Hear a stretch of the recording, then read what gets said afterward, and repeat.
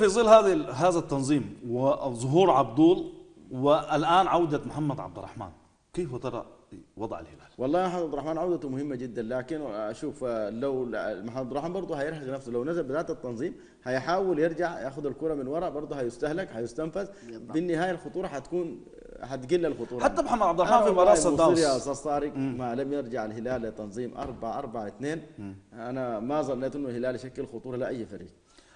محمد عبد الرحمن حتى في مباراة صن داونز كان محمد عبد الرحمن إحنا شاهدناه وبنعرفه إنه بيلعب كمخط... ك كراس حربة آه، صريح. نعم. فوجوده على الطرف قلل من خطورة محمد عبد الرحمن في مباراة صن وقال- داونز. وبعدين هو حتى صيامه اللي فترة طويلة من الأهداف أساس إنه هو يعود يعني أضاع المباراة. يعني كان في عدد من الفرص هو تأنى فيها.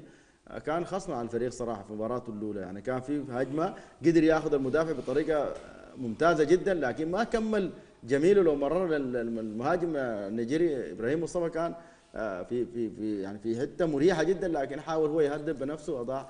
وكم من الفاولات اللي بتتعمل على راس ال 18 برضه طيب وسط الهلال في وجود عبدول وجيلارد؟ والله وسط مميز جدا لكن آه، الوسط آه، مميز. ما لم يكون أنا أتمنى إنه يرجع لا زلت أقول إنه الوسط مميز لكن ح...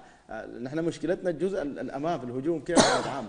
طيب أنت لو الآن أنت المدرب ده رجع ل 4 4 2 حيلعب إبراهيم مع محمد مصطفى مع محمد عبد الرحمن. أنت هو نعم شوف. وتستغنى عن آه، والد وعن آه، عيد مقدم وياسر مزمل واصله عيد مقدم ياسر مدل واحد منهم هو اللي بيلعب. طيب. مفترض.